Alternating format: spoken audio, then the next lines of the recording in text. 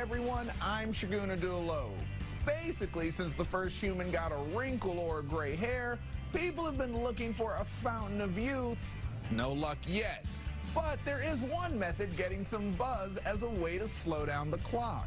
Jimmy Rhodes looks at natural supplements designed to control our biological age. And that's our featured story at the top of the list.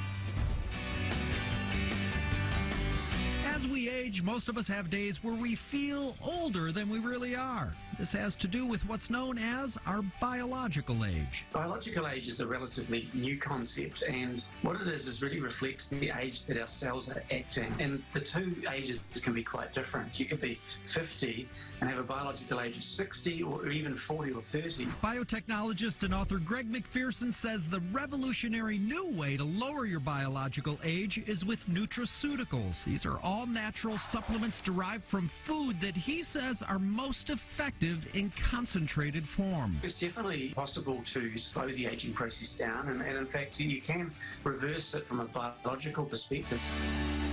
We'll take our first sip from the Fountain of Youth with Hobamine. Greg says we should start taking it at age 30. I like to describe it as sunscreen for your cells. It essentially protects us from oxidative stress. Oxidative stress is a condition that can lead to hypertension and heart disease. This literally protects every one of your cells and it just slows the damage down. And the less damage you have, the slower the aging process.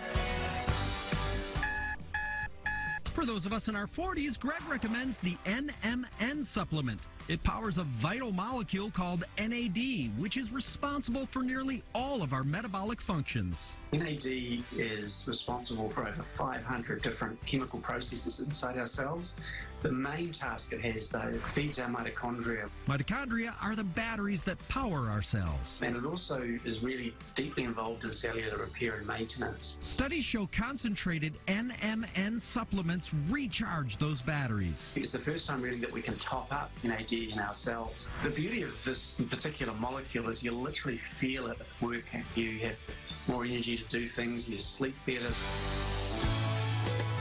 Finally, if you're in your fabulous 50s, zombie cells that cause inflammation are the enemy.